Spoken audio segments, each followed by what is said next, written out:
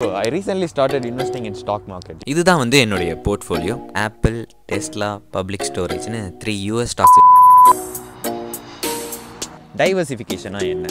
ஒரு பேஸ்கெட் கீழே விழுந்தாலும் மீதி நாலு பேஸ்கெட் இந்தியன் ஸ்டாக் மார்க்கெட்டில் எம்ஆர்எஃப் ஷேர் ப்ரைஸ் வந்து around one lakh seven thousand வந்து கரண்ட் எபிசோடைய செகண்ட் எபிசோட போடுறேன். ஸோ அதில் வந்து என்னோட போர்ட்ஃபோலியோ வந்து எப்படி உங்களுக்கே தெரியும் ஸ்டாக் மார்க்கெட் வந்து subject to market risk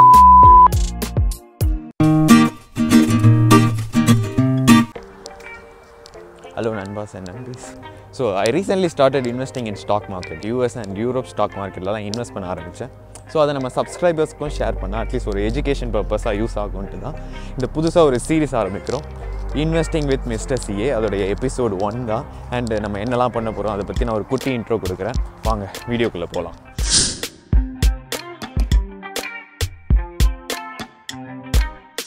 என்னுடைய பிளான் என்னென்னா இந்த இயர் எண்ட்குள்ளே வந்து ஒரு தௌசண்ட் யூரோஸை வந்து ஷேர் மார்க்கெட்டில் இன்வெஸ்ட் பண்ணிவிட்டு அண்ட் ஒவ்வொரு ஃபிஃப்டீன் டேஸ் ஆர் ஒன் மந்தில் வந்து நெக்ஸ்ட் எபிசோட்ஸை ரிலீஸ் பண்ணிவிட்டு என்னுடைய போர்ட்ஃபோலியோ வந்து எவ்வளோ க்ரோ ஆகிருக்கு ஆர் எவ்வளோ ஃபால் ஆகிருக்கு அண்ட் என்னென்ன ஷேர்ஸில் நான் இன்வெஸ்ட் பண்ணேன் என்னென்ன ஷேர்ஸை விற்றேன் என்னென்ன ஸ்ட்ராட்டஜிஸ் நான் ஃபாலோ பண்ணேன் அப்படின்ட்டு வந்து உங்ககிட்ட ஷேர் பண்ணிக்கலான்ட்டு அப்படி தான் இதோடைய பேசிக் ஐடியா இந்த தௌசண்ட் யூரோஸை வந்து நான் US UK and Europe stock மார்க்கெட்லேயும் and லேட்டராக வந்து இந்தியன் ஸ்டாக் மார்க்கெட்லேயும் இன்வெஸ்ட் பண்ண போகிறேன் டிஃப்ரெண்ட் ஸ்டாக் மார்க்கெட்டில் போடுற மாதிரி டிஃப்ரெண்ட் செக்டார் இண்டஸ்ட்ரியில் வந்து போடுற மாதிரி மேக்ஸிமம் ட்ரை பண்ணுவேன் இது வந்து பேசிக்காக வந்து டைவர்சிஃபிகேஷன் அப்படின்ற ஒரு கான்செப்ட்டுக்காக அந்த டைவர்சிஃபிகேஷன்னா என்ன? அது வந்து நான் இப்போ வந்து ஒரு சிம்பிளாக சொல்கிறேன்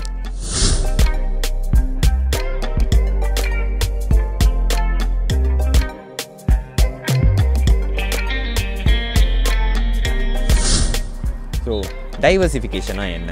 ஃபார் எக்ஸாம்பிள் வந்து நீங்கள் ஒரு டென் எக்ஸ் வச்சுருக்கீங்க. அந்த டென் எக்ஸையும் வந்து ஒரே பேஸ்கெட்டில் வந்து வச்சுருக்கீங்கன்னு வச்சுக்கோங்களேன். அந்த பேஸ்கெட் வந்து கீழே விழுதுன்னா உங்களுடைய டென் எக்ஸும் வந்து உடஞ்சிடும் அதுவே அந்த டென் எக்ஸை வந்து நீங்கள் அஞ்சு பேஸ்கெட்டில் ஒவ்வொரு பேஸ்கெட்லேயும் ரெண்டு முட்டைன்னு வச்சுருக்கீங்கன்னு வச்சுக்கோங்களேன். ஒரு பேஸ்கெட் கீழே விழுந்தாலும் மீதி நாலு பேஸ்கெட்க்கு ஒன்றும் ஆகாது. ஸோ அதில் இருக்க அந்த எயிட் எக்ஸுக்கு வந்து ஒன்றும் ஆயிருந்திருக்காது. ஸோ அதே மாதிரி தான் உங்களுடைய போர்ட்ஃபோலியோ ஃபண்ட்ஸை வந்து நீங்கள் ஒரே கண்ட்ரியாக அது ஒரே இண்டஸ்ட்ரி ஒரே செக்டாரில் வந்து இன்வெஸ்ட் பண்ணியிருந்தீங்கன்னா சப்போஸ் அந்த கண்ட்ரி ஆர் அந்த இண்டஸ்ட்ரி செக்டார் வந்து சரியாக பர்ஃபார்மன்ஸ் பண்ணலன்னா உங்கள் என்டையர் போர்ட்ஃபோலியோ வந்து ஃபால் ஆயிரும். அதான் இந்த ரிஸ்க்கை அவாய்ட் பண்ணுறதுக்கான ஒரு ஸ்ட்ராட்டஜி தான் டைவர்சிஃபிகேஷன் அதாவது உங்களுடைய போர்ட்ஃபோலியோவை different industry different sector and different கண்ட்ரியில் வந்து இன்வெஸ்ட் பண்ணணும் அந்த மாதிரி.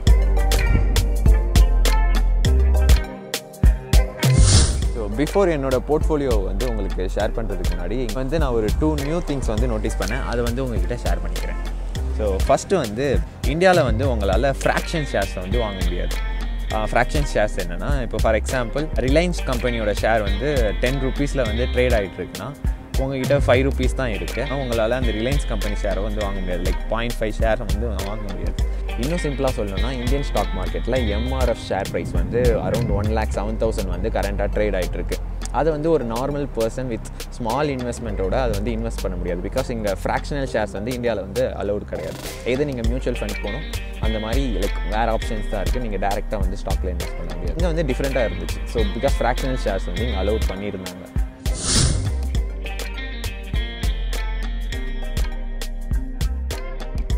செகண்ட் திங் வந்து நம்ம நார்மலாக நம்மளுடைய ஓன் ஃபண்ட்ஸை வந்து ப்ரோக்கர் ஃபண்ட்ஸில் வச்சுட்டு அப்புறமேட்டு தான் இன்வெஸ்ட் பண்ணுவோம். இன்வெஸ்ட் பண்ணுறதுக்கு சில டைம் வந்து டிலே ஆகலாம். பிகாஸ் நம்ம பெஸ்ட் ப்ரைஸ்க்காக வெயிட் பண்ணிகிட்டு இருப்போம். ஸோ அந்த டைம் வந்து நம்மளோட ஃபண்ட்ஸ் வந்து ஐடலாக தான் இருக்கும். நான் வந்து இந்த ப்ரோக்கரை வந்து ப்ரொமோட்லாம் பண்ணல. இங்கே வந்து டிஃப்ரெண்ட்டாக இருந்துச்சு. அதுக்காக ஷேர் பண்ணுறேன் ஸோ நீங்கள் அந்த வெயிட் பண்ணுற டைமில் கூட உங்களுடைய ஃபண்ட் வந்து ப்ரோக்கர் கிட்டே இருந்துச்சுன்னா இந்தியன் பேங்க்கில் சேவிங்ஸ் பேங்க்கில் இருந்துச்சுன்னா ஒரு ஒன் பர்சன்ட் டூ பர்சன்ட் வந்து இன்ட்ரெஸ்ட் கொடுப்பாங்களே ஸோ அந்த மாதிரி. இங்கே வந்து கரன்சிக்கு ஏற்ற மாதிரி யூரோவாக இருந்தால் ரெண்டு பர்சன்ட் டாலராக இருந்தால் த்ரீ பர்சன்ட் அந்த மாதிரி கரன்சிக்கு ஏற்ற மாதிரி இன்ட்ரெஸ்ட் கூட கொடுக்குறாங்க. அதுவும் வந்து டிஃப்ரெண்ட்டாக இருந்துச்சு. இது வந்து இந்தியன் ஸ்டாக் ப்ரோக்கர்ஸும் பண்ணுவாங்களா அப்படின்னு எனக்கு தெரியலை. பட் இது வந்து நான் இங்கே டிஃப்ரெண்ட்டாக நோட்டீஸ் பண்ணேன்.